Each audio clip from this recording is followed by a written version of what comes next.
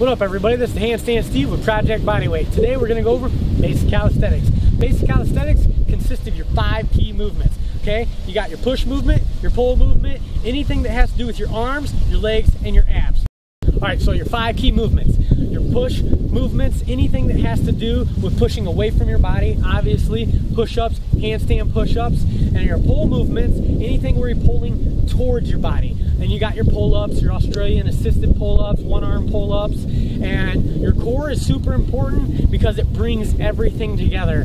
Uh, now, your arms, you can do pull-ups. Pull-ups and chin-ups are one of the best bicep exercises you can do. And as far as your legs go, your legs are your foundation towards everything. If you don't have a strong foundation, everything else is gonna be weak. All right, so for basic push exercises, you got push-ups, but then you have dips. This, dips are one of the best chest, chest activation exercises you can do. You get a full range of motion, you get a lot of activation, and right now, I'm 170 pounds. I'm pushing 100% of 170 pounds off of my chest.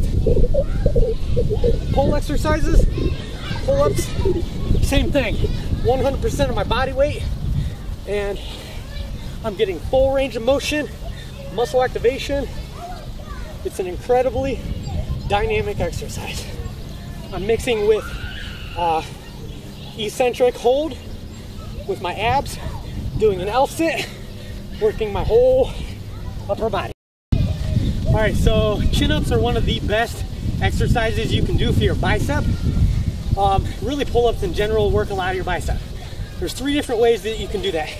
The chin-up with your hands facing towards you is gonna work that bicep muscle the most. It's one of the best bicep exercises you can do. Then do side to side.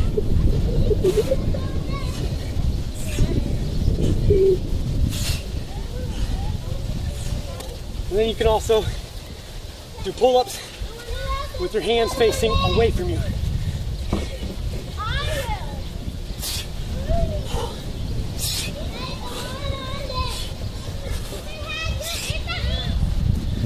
Like that. Okay, for your abs, you got lots of variations. Toes to bar, up like this. You can't go all the way, you can tuck your knees in. Make sure you tilt your pelvis forward and you engage all your abs. You also got windmills where you go up.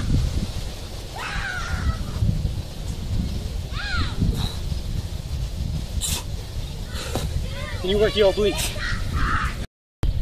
I like to work my abs on the bleachers like this so I don't get pressure on my spine and I can go real deep and if I want I can grab some weights and throw in my hand and apply more uh, force and make my abs work harder. But uh, within this, you can twist, you can get your obliques. There's a lot of movement. You're activating a lot of muscle fibers in this movement.